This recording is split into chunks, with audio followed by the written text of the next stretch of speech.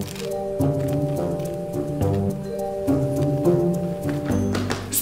Girls! The concert is tonight! It's gonna be amazing! We've been waiting for this for so long!